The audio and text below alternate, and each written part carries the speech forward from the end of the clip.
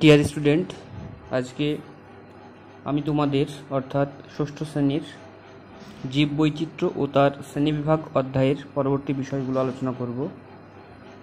তো দেখো এবার তোমাদের বইয়ে যে উদ্ভিদ রাজ্যকে কীভাবে ভাগ করা হয় সেগুলো একটা ছকের আকারে দেখানো আছে। যে প্রথমে কি উদ্ভিদ রাজ্যকে ভাগ করা হয়? অপুষ্পক ও সপুষ্পক। এই দুই ভাগে ভাগ করা হয়। তারপরে অপুষ্পককে আবার অপুষ্পক উদ্ভিদদের তিন ভাগে ভাগ করা হয়। যেমন শ্যাওলা জাতীয়, মশ জাতীয়, ফার্ন জাতীয়। তাহলে শ্যাওলা জাতীয় বা অ্যালগির উদাহরণ কি হবে? যেমন স্পাইরোগাইরা। তারপরে তোমার মশ জাতীয় বা ব্রায়োফাইটার উদাহরণ কী হবে? যেমন পোগোনেটাম, রিক্সিয়া, এগুলো মশ জাতীয় উদ্ভিদ। তারপরে ফার্ন জাতীয় বা টেরিডোফাইটা কী হবে উদাহরণ? যেমন ঢেকি শাক শুশনি শাক, এগুলো সব ফার্ন জাতীয় উদ্ভিদ। তারপরে সপুষ্পকে সপুষ্পক উদ্ভিদদের আবার দেখো, এখানে দুই ভাগে ভাগ করা আছে, যে ব্যক্তবীজি বা জিমনোস্পাম আর গুপ্তবীজি বা অ্যাঞ্জিওস্পাম তাহলে ব্যক্তবীজি বা জিমনোস্পাম উদাহরণ কী হবে? যেমন পাইন, ঝাউ, এগুলো ব্যক্তবীজি। অর্থাৎ বীজকে এদের বাইরে থেকে দেখা যায়। আর গুপ্তবীজি মানে যেগুলো বীজগুলো ফলের মধ্যে ঢোকানো থাকে। যেমন গুপ্তবীজি আবার দুই ধরনের। তোমার এক বীজপত্রী আছে, দ্বিবীজপত্রী আছে। তো এক বীজপত্রীর উদাহরণ কী কী হবে? যেমন ধান, গম কলা গাছ, এগুলো সব এক বীজপত্রী আর দ্বিবীজপত্রী উদাহরণ কী কী হবে?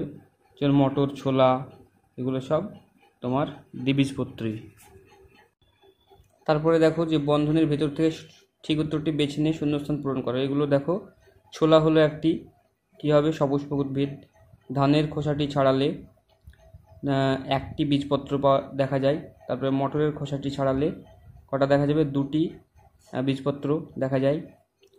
পাতায় জালের মতো শিরা হলে সেটি দ্বিবীজপত্রী পাতায় মাছ শিরা দুদিকে সমান্তরালভাবে শিরা থাকলে সেটি একবীজপত্রী কলা গাছ একটি একবীজপত্রী অশ্বত্থ গাছ একটি দ্বিবীজপত্রী উদ্ভিদ বীজ যদি আচ্ছা বীজ ফলের মধ্যে থাকলে সেটি গুপ্তবীজ উদ্ভিদ আর বীজ যদি ফলের মধ্যে না থাকে তখন সেটি আহ, ব্যক্তবীজ উদ্ভিদ। তারপরে আছে আম একটি কি আছে? যে গুপ্তবীজি আর ব্যক্তবীজি। তাহলে আমি একটি গুপ্তবীজ উদ্ভিদ, পাইন একটি ব্যক্তবীজ উদ্ভিদ, তারপরে তোমার আছে যে কাদের পাতা কচি অবস্থায় কুকুরের লেজের মতো গুটেছে? ফান্ডের পাতা। তারপরে শ্যাওলাদের দেহে মূল কাণ্ড পাতা থাকে না। তারপর আছে স্পাইরোগাইরা বা জল রেশম একটি। আসলে কি? শ্যাওলা ঢেকি শাক একটি হলো ফার্ন ঠিক আছে? তাহলে এই প্রশ্ন উত্তরগুলো তোমরা একটু দেখবে, তাহলে তোমরা সবাই পারবে। তাহলে আমরা উদ্ভিদ রাজ্য, প্রাণী রাজ্য সম্পর্কে জানলাম। এবার আমরা আরও কিছু জীবের সম্পর্কে জানব যারা উদ্ভিদও না, আবার প্রাণীও প্রাণীও না। যেমন ধরো, আমাদের যখন দুধ থেকে দই তৈরি করি, তো দইয়ের যে সাজা থাকে, সেই সাজাতে কী থাকে? ব্যাকটেরিয়া বলে যে জীব থাকে, তাকে আমরা খালি চোখে দেখতে পাই না। আসলে তারাই এই দুধকে দই বানিয়ে দেয়। আবার আমাদের শরীরে যে টাইফয়েড বা কলেরা রোগ হয়, সেগুলো হচ্ছে তোমার এই ব্যাকটেরিয়ার কারণে এই রোগগুলো হয়। আচ্ছা আর এই সব ধরনের ব্যাকটেরিয়াকে একটি রাজ্যে রাখা হয়। সব ব্যাকটেরিয়ার এই যে রাজ্যের নাম, সেটা হলো মনেরা। দেখো তোমাদের বইয়ে কিছু ব্যাকটেরিয়ার ছবি দেখানো আছে। অনেক বড় করে দেখানো আছে। আসলে তো ব্যাকটেরিয়াগুলো তো খালি চোখে দেখা যায় না, খুব ছোট ছোট হয়, কিন্তু এগুলো অনেক বড় করে দেখানো আছে। যেমন টাইফয়েড রোগের ব্যাকটেরিয়া কলেরা রোগের ব্যাকটেরিয়া এগুলো ছবিতে দেখানো আছে। আবার আমাদের বাড়ি বা আমাদের যে স্কুল সেগুলো কি হয়? অনেকগুলো ছোট বড় ঘর নিয়ে তৈরি হয়। ঠিক তেমনিভাবেই আমাদের সবার শরীর এরকম তোমার ছোট ছোট ঘর বা কুঠুরি নিয়েই তৈরি হয়। তবে এই কুঠুরিগুলোকে খালি চোখে আমরা দেখতে পাই না। এই যে কুঠুরিগুলো, এগুলোকে বলা হয় কোষ। আর অধিকাংশ কোষের মধ্যে একটা গোল যে বস্তু থাকে সেটাকে আমরা বলব নিউক্লিয়াস। আবার যেমন ধরো বাড়ি তৈরি করতে গেলে ইটের প্রয়োজন হয়, ঠিক তেমনি আমাদের শরীরটাও এই কোষ দিয়েই তৈরি হয়। আর কোষের মধ্যে যে গোল বস্তু থাকবে সেটাকে আমরা বলি নিউক্লিয়াস, ঠিক আছে? তাহলে আমরা যে মনেরা রাজ্যের ব্যাকটেরিয়ার কথা জানলাম, তাদের দেহ কিন্তু একটা কোষ দিয়েই তৈরি। আর সেই কোষে কোনো নিউক্লিয়াস নেই। আবার আমাদের শরীরে যে ম্যালেরিয়া হয় বা ম্যালেরিয়া হলে কী হয়? কাঁপুনি দিয়ে জ্বর আসে। আবার আমাশয় হলে কী হয়? পেটের গোলমাল হয়। এই যে রোগগুলো হয়, সেটা ঘটায় এক ধরনের জীব যাদের শরীরটাও ব্যাকটেরিয়ার মতো একটাই কোষ দিয়ে তৈরি।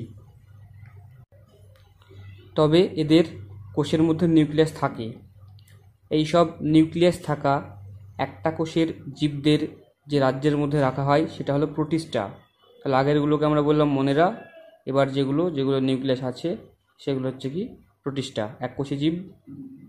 দেখো এখানে ছবিতে দেখানো আছে প্রোটিস্টা ম্যালেরিয়া রোগ ঘটায় যে জীব আর আমাশয় রোগ ঘটায় যে জীব, তাদের ছবি দেওয়া আছে। আবার তোমাদের বইয়ে দেখো দুটো ছবি দেখানো আছে। এগুলোও অনেক গুণ বড় করে দেখানো আছে। একটা হচ্ছে, প্রথমটা হচ্ছে তোমার ইউগ্লিনা আর পরেরটা হচ্ছে প্যারামেসিয়াম। এরাও প্রতিষ্ঠা রাজ্যেরই অন্তর্ভুক্ত। আবার বর্ষাকালে বাড়ির আশেপাশে ব্যাঙের ছাতা দেখা যায়।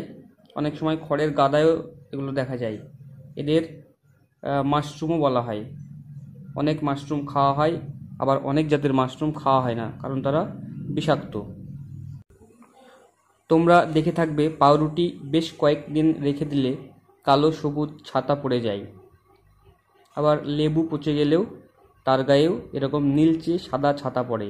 এগুলো সবই ছত্রাক। অনেক সময় আমাদের কারও কারও গায়ের চামড়ায় যে দাঁত হয়, প্রচুর চুলকায় বা মাথায় খুশকি হয়, সেগুলো সবই নানা ধরনের ছত্রাক। আর এই ছত্রাকরা গাছেদের মতো সবুজ নয়। এরা নিজেদের দেহে খাবার তৈরি করতে পারে না। সমস্ত ছত্রাকদের একটা রাজ্যে রাখা হয়, তার নাম হলো ফানজাই তাহলে আমরা এখান থেকে উদ্ভিদ রাজ্য, প্রাণী রাজ্য ছাড়াও জানলাম, মনেরা প্রতিষ্ঠা ফানজাই এগুলো সম্পর্কে জানলাম। এবার দেখো পরের পাতায় বলা আছে যে পুকুরে, বনে, বাড়ির আশেপাশে, তীরবর্তী সমুদ্রে অ্যাকোয়ারিয়ামে কিংবা ঘাস জমিতে বিভিন্ন মেরুদণ্ডী ও অমেরুদণ্ডী প্রাণীদের নামের তালিকা তৈরি করো। তাহলে দেখো প্রথমে যেটা দেওয়া আছে, পুকুরে কী কী দেখা যায় অমেরুদণ্ডী, মেরুদণ্ডী প্রাণী? চিংড়ি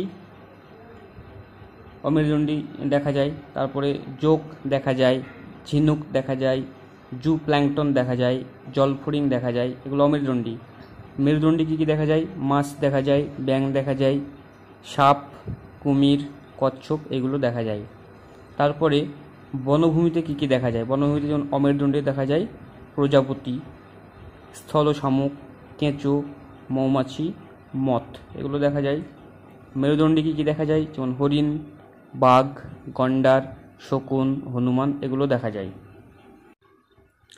তারপরে বাড়ির আশেপাশে কী কী অমেরুদণ্ডী প্রাণী দেখা যায়? যেমন কেঁচো, স্থলশামুক ফড়িং মৌমাছি, বোলতা এগুলো দেখা যায়। তারপর মেরুদণ্ডীর মধ্যে কোনো ব্যাং ঘুঘু, পেঁচা, কাঠবেড়ালি গিরগিটি এগুলো দেখা যায় বাড়ির আশেপাশে। তারপরে সমুদ্র তীরবর্তী এলাকায় অমেরুদণ্ডী কী কী দেখা যায়? Jellyfish. Hydra, sea anemone, sea pen, octopus, এগুলো দেখা যায় সমুদ্র তীরবর্তী অঞ্চলে। মেরুদণ্ডের মধ্যে হাঙর, তিমি, সাপ, ডলফিন, শিল, এইসবগুলো দেখা যায়। তারপরে অ্যাকোয়ারিয়ামে কী কী দেখা যায়? ও মেরুদণ্ডের মধ্যে শামুক, ঝিনুক, স্পঞ্জ, কেঁচো, এগুলো দেখা যায়। মেরুদণ্ডের মধ্যে গোল্ডফিশ, প্যারাডাইস মাছ শার্ক মাছ, ফাইটার মাছ, এগুলো দেখা যায়। তারপরে তোমার ঘাস জমিতে কোন কোন প্রাণী দেখা যায়? যেমন অমেরুদণ্ডীর মধ্যে পিঁপড়ে যোগ প্রজাপতি, হরিণ, শামুক এগুলো দেখা যায়। মেরুদণ্ডীর মধ্যে সাপ ব্যাং গরু, ভেড়া, ছাগল প্রভৃতি প্রাণী দেখা যায়। ঠিক আছে, তাহলে এইভাবে আমরা বিভিন্ন প্রাণীদেরকে আমরা বিভিন্ন জায়গায় দেখে থাকি।